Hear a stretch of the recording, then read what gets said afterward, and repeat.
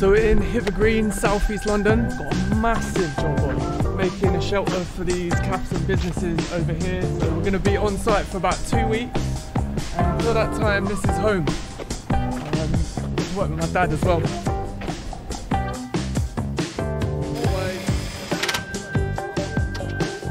Hello, my name's Priya. I've lived in Hither Green for over 20 years. I think the parklet's a great idea because it's going to enable us to carry on using the local businesses and still have a space to meet at a social distance. So I think it's fantastic for the local community. Hi, uh, I am a volunteer today with Yes Make and Oxford to Mulberry building this timber frame shelter. This is going to benefit this area massively that people can still get together, be outside, have a have a nice place to eat.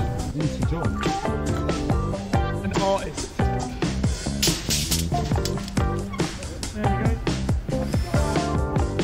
I'm Arthur. I'm an artist woodworker. For this job, we've got a whole load of ash that came down in, a, in the summer storms, and it will make a wonderful, organic, very, very rigid structure.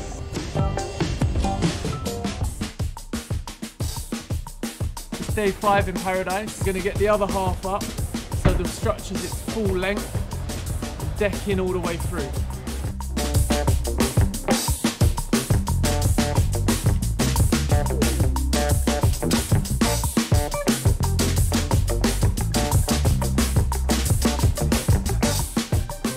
Stelly has been here for roughly 9 to 10 years. It will look nice and it will encourage people to to come and have a coffee and have a have a chat and meet up. Because without this here, there would be soon there would be no reason to come here.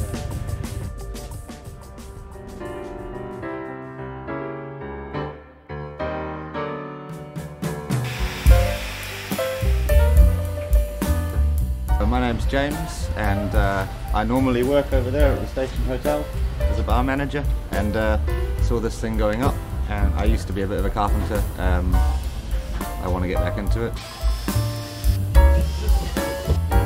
project here is part of uh, the wider Spin Streets programme, um, which is our way of giving back to the communities we serve.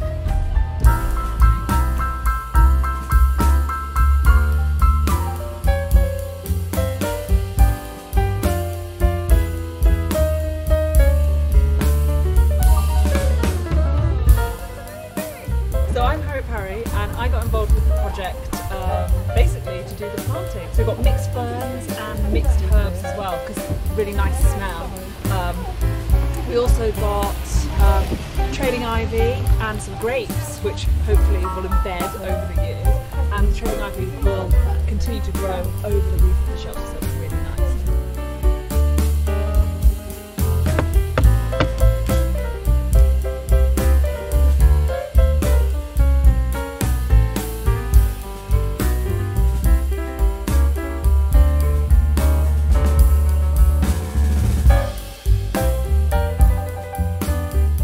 So we just got the sign up. It's the cherry on top. Just as the light goes on, we're done. So, I mean, Hither Green has been unbelievable. Like the people here are so amazing, and so it's such a beautiful thing to come to the end of this journey. And I hope the shelter here looks after the people as much as they looked after us while we were building it.